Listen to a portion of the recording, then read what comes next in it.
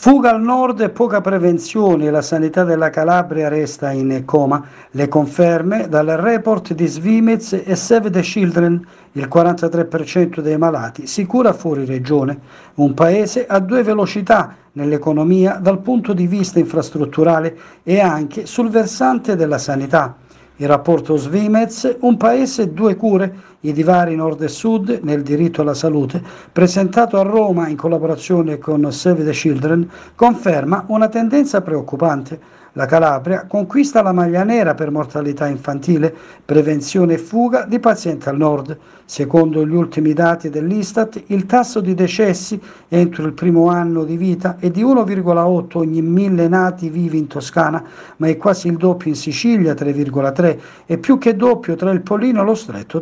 3,9 il convitato di pietra e l'autonomia differenziata che rischia di ampliare le disuguaglianze interregionali nelle condizioni di accesso al diritto alla salute, i divari territoriali sono aumentati in un contesto di generalizzata debolezza del sistema sanitario che nel confronto europeo risulta sottodimensionato per stanziamenti di risorse pubbliche. A fronte di una media nazionale di 2.140 euro, la spesa corrente più bassa si registra in Calabria 1.748 euro, Campania 1.818 euro, Basilicata 1.941 euro e Puglia 1.978 euro. Per la parte di spesa in conto capitale i valori più bassi si ravvisano in Campania 18 euro, Lazio 24 euro e Calabria 27 euro, mentre il dato nazionale si attesta su una media di 41 euro.